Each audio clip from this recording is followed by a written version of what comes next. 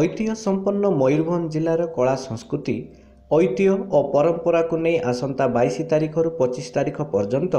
ଅନୁଷ୍ଠିତ ହେବାକୁ ଯାଉଛି ଏକ ଜାତୀୟ ଚିତ୍ରକଳା ପ୍ରଦର୍ଶନୀ। ବାରିପଦା ବେଲଗଡ଼ିଆ ସ୍ଥିତ ରାଜପ୍ରସାଦରେ ପ୍ରଥମ ଥର ପାଇଁ ଅନୁଷ୍ଠିତ ହେବାକୁ ଯାଉଥିବା ଏହି ଚିତ୍ରକଳା ପ୍ରଦର୍ଶନୀ ପାଇଁ ଚାଲିଛି ଜୋରଦାର ପ୍ରସ୍ତୁତି। ମୟୂରଭଞ୍ଜ ମହାରାଜା ପ୍ରବୀଣଚନ୍ଦ୍ର ଭଞ୍ଜଦେଓ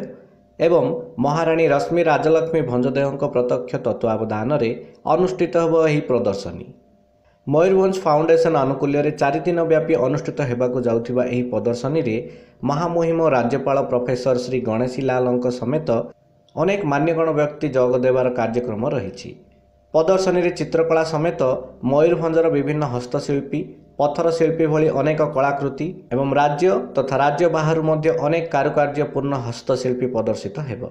ସେହିପରି ଆୟୋଜିତ ପ୍ରଦର୍ଶନୀ ମାଧ୍ୟମରେ ଜିଲ୍ଲାର ଲୁକାୟିତ ପ୍ରତିଭା ସମ୍ପନ୍ନ ଶିଳ୍ପୀ ତଥା ସେମାନଙ୍କ ପ୍ରସ୍ତୁତି ସାମଗ୍ରୀ ଗୁଡ଼ିକ ଲୋକଲୋଚନକୁ ଆଣି ସ୍ୱତନ୍ତ୍ର ପରିଚୟ ସୃଷ୍ଟି ହୋଇପାରିବ ବୋଲି ଏକ ସାମ୍ବାଦିକ ସମ୍ମିଳନୀରେ ସୂଚନା ଦେଇଛନ୍ତି ମୟୂରଭଞ୍ଜ ମହାରାଣୀ punch and mister Kalyan बारिक्स whole foundation बाईस तारीख से लेकर पच्चीस तारीख पर्यंत अच्छी from ten o'clock in the morning till one thirty and three o'clock to six o'clock in the evening will be the cultural programmes also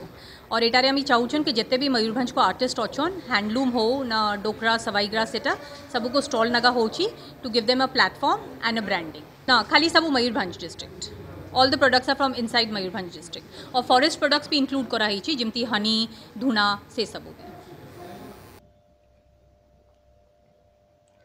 मयूरभ रू घासीराम बेहेरा रिपोर्ट ଉତ୍କଳ ଖବର।